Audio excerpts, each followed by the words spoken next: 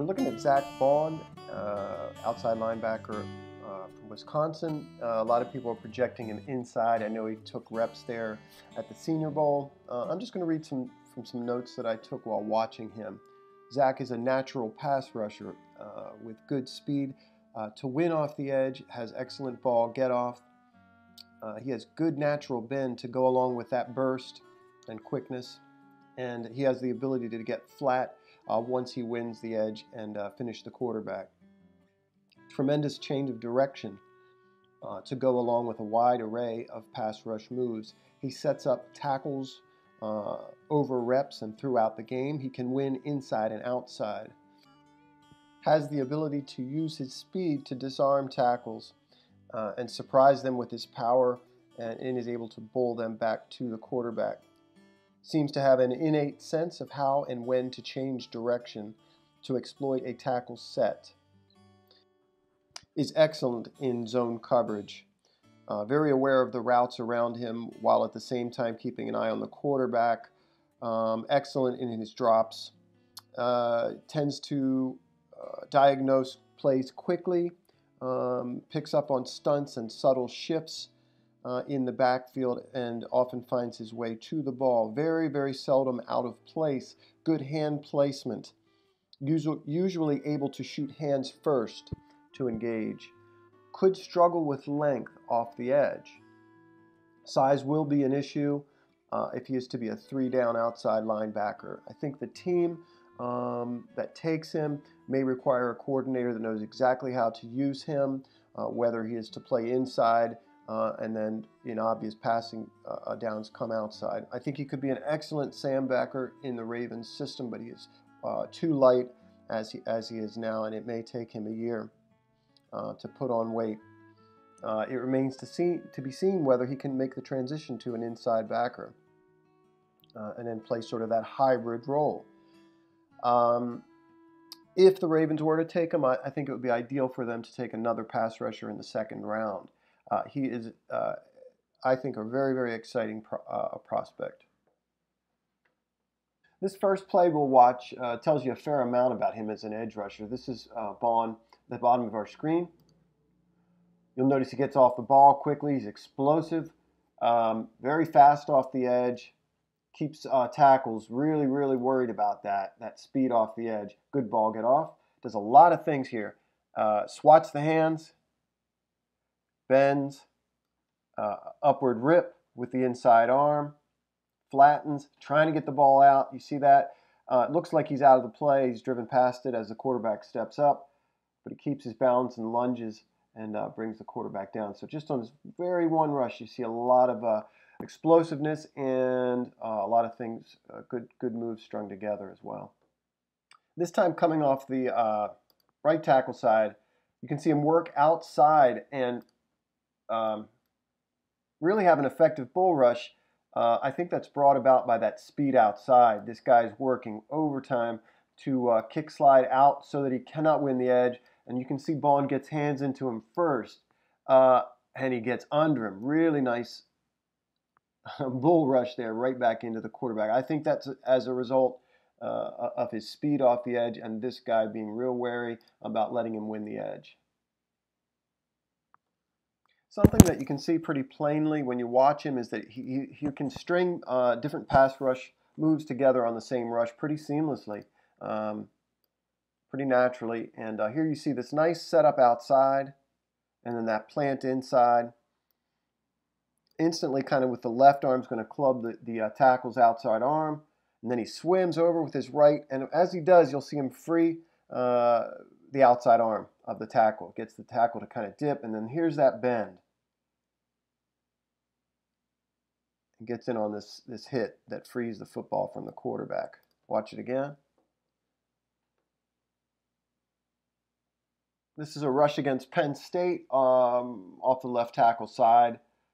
You can see again that ball get off, uh, the effort to get an arm, arms off of him, this tackle's unable to keep up with his speed. This is good, again, good ball get off. This guy's working overtime to get outside. You can see he has an inability to stay square right there. And here's that bend, an ability to kind of change direction, get flat, and lay a hit on the quarterback. Uh, in this particular rush, all he needs is speed to get off and uh, beat the tackle. Just a little dip and bend at the end there.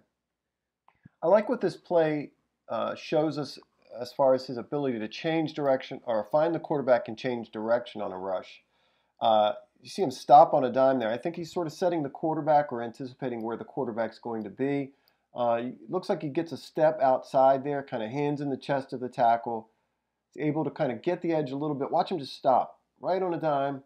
And I think he sees that plant foot and he knows the ball's either coming out or uh, the quarterback is aware of him, is going to start stepping up in the pocket. But just that change of direction there is really impressive. Watch how he just runs the tackle right back by him without really even touching him. Now the ball does come out. But I, like what that sh shows us, as I said, about him finding the quarterback, anticipating the, the quarterback's movement in the pocket, uh, and, that, and most importantly, how, how quickly he changes direction. Watch that again.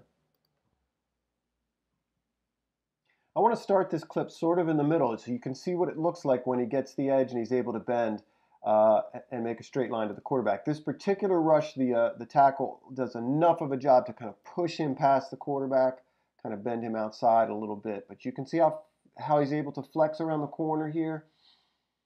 Uh, and if the ball is held a little bit longer, he's going to make this sack. He's going to get in on the quarterback. Uh, you can see he does barely graze the quarterback uh, in any case. Watch it again.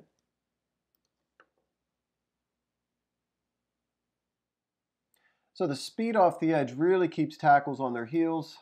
Um, and then this change of direction. Watch this outside fake here. And how quickly he plants and uh, heads up inside. Uh, again, stringing together, he's going to club the inside arm. Pretty forcefully, you see the tackle get bent over, kind of dip in, and take on another block, get off that.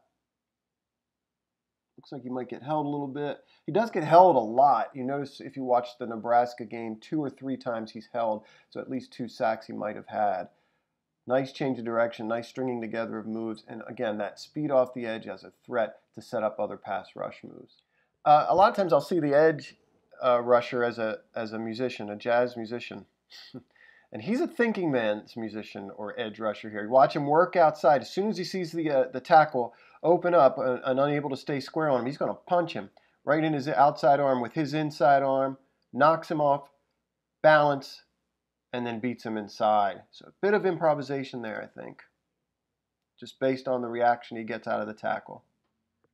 Here he is as part of a stunt, but uh, uh, working inside, um, but setting it up by working outside. Initially, there's that change of direction, um, just that speed, again, being the, the key factor in threatening the tackle outside, getting them to open up there a little bit. An overset, and then the hands uh, coming across uh, clubbing his inside arm off. You can see that stunt frees a man outside, but he, he ends up uh, winning inside and getting there first.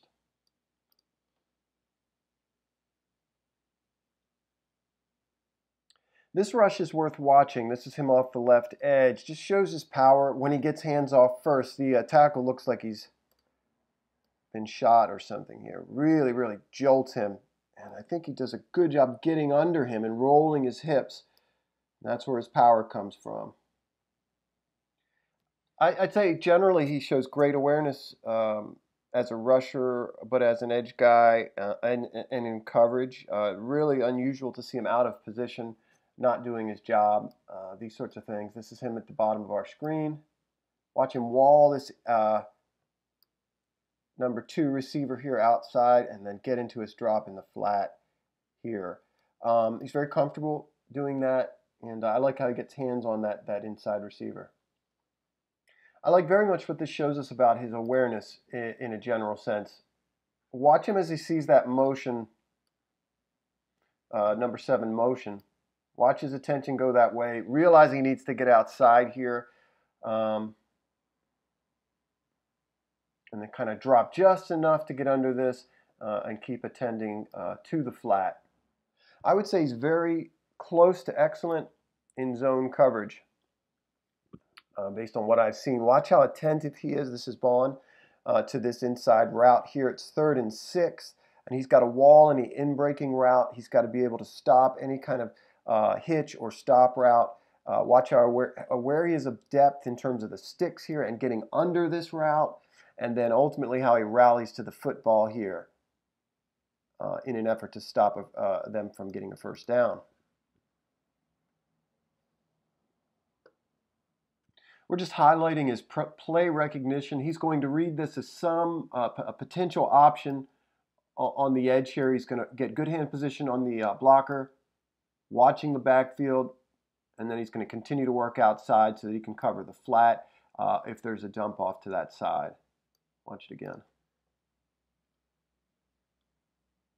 This is Baun, Baun outside the right tackle. He's going to drop after faking a, a rush on third down, uh, drop into this hook, and uh, pick off this slant route here. Nice hands, too uh, and takes it in for a score. Uh, watch it again. Watch the hands. Ball's just outside of him. Uh, he just reads the quarterback there. Nice fake of a rush. Good drop. And takes away the slant route underneath. Let's look at him in the run game a little bit. You'll see him uh, able to use his eyes in the backfield here and really good hand placement here. Uh, this this uh, tackle's constantly trying to get hands inside and get hands off of him, and he can't. Uh, Baun's able to read the back, cutting it outside, shed, and get in on the tackle.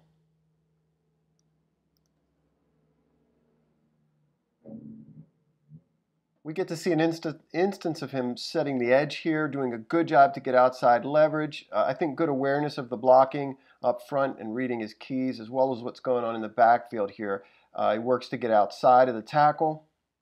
Good job keeping his, uh, using his hands to get to keep the tackle off of him, and then really taking on both of these blocks in a sense, and um, the back has to cut this back inside. Watch it again.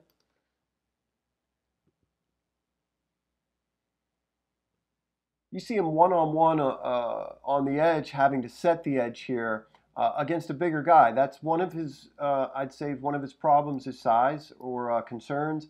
Uh, he's playing at 235 here. Apparently, he's bulked up to 240 which is still small in our system. You can see him holding up pretty well, even though he doesn't have inside hand position here at the point and working to find the ball carrier. That's He's very aware. Uh, working to get outside and set the edge. He does. Uh, he makes the ball carrier cut back, who makes a nice little cut. But to me, he's doing his job here. Uh, gets off the ball very well, able to hold up at the point of attack, able to get outside uh, and force the back in.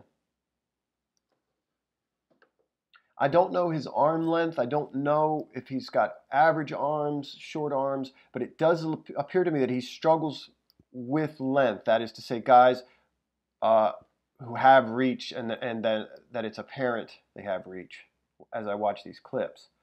Watch this guy just reach out and pop him just before he can even get hands into him. Uh, it really stops him in his tracks there. So that could be an issue for him.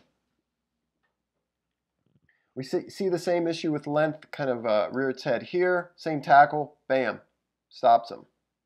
You can see that, that that halts the rush immediately once he gets that hand into him. And I think the, the length plus the size here uh, enables the tackle to really stop him in his tracks. We see, again, a longer tackle. Uh, get hands into him first here, control him, and then being a, a bigger man, really, really uh, throw him around a little bit.